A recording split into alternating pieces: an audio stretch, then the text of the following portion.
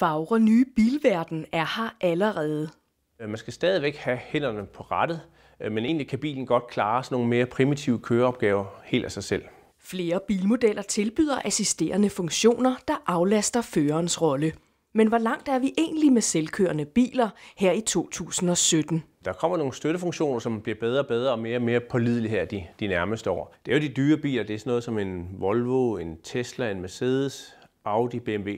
De er jo ikke selvkørende, men de har nogle meget avancerede øh, støttefunktioner, nogle assistenter, som gør det lidt mere sikkert og lidt mere behageligt at køre, og det er jo typisk på motorveje. Funktioner som linjevogter, automatisk nødbremse og skiltegenkendelse findes på flere bilmodeller i dag. Men der mangler meget, før man kan tale om selvkørende biler. Altså først og fremmest så er teknikken ikke helt klar endnu. Der skal en masse sensorer til, den skal kunne se og høre, og, og vejene skal måske også være i lidt bedre stand nogle steder.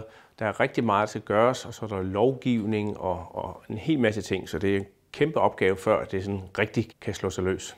Mens visionerne lever på bilproducenternes hjemmesider, så er der hverdagssituationer, som man også er nødt til at have med i regnestykket på vej mod den selvkørende bil. Det er jo noget helt nyt, at du ligesom i et lyskryds skal til at forhandle med en, en robotbil, som, som ikke kan øh, lave håndtegn eller vinke til dig eller noget. Det er jo sådan nogle lidt, øh, lidt meget spændende og diffuse ting, vi skal til at vende os til her. Og hvordan, hvordan håndterer vi det? Hvordan skal bilen signalere til en fodgænger eller en, en cyklist? Det er nogle, virkelig nogle meget svære ting. Umiddelbart er der to store fordele ved selvkørende biler. Den ene det er jo simpelthen ens tid. Så vi bruger, mange mennesker bruger rigtig meget tid ved at køre i bil, især den lidt kedelige pendling. Og den tid kan jo om en del år blive øh, nyttetid i stedet for spildtid. Man kan sidde og lave hvad som helst. Man kan sove, man kan læse avis, man kan arbejde. Would you like me to order a coffee to go? Så er der jo også sikkerheden. Øh, selvkørende biler bliver jo meget avancerede, og de bliver også meget forsigtige, og de bliver meget regelrette. De overtræder ikke færdselsloven, de kører ikke for hurtigt, de gør ikke de der ting, og de er aldrig uopmærksomme. Og de snakker heller ikke i telefon, mens de kører bil, kan man sige. Så, så dermed bliver de meget mere sikre, så vi kan vil se en markant nedgang i trafikulykker, når vi får øh, de mere avancerede selvkørende biler i hvert fald.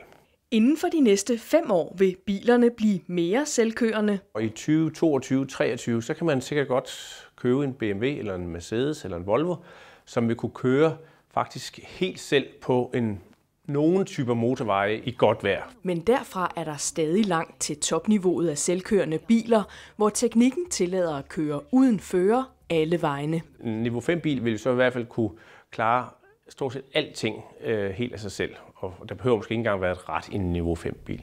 Selvkørende biler, der kan køre alle vegne uden fører, kommer ikke på markedet før om mange år. Man skal nok ikke være alt for optimistisk på, hvornår de her nye selvkørende biler kommer. Vi skal frem til 2060 eller sådan noget, så glæd dig ikke for tidligt.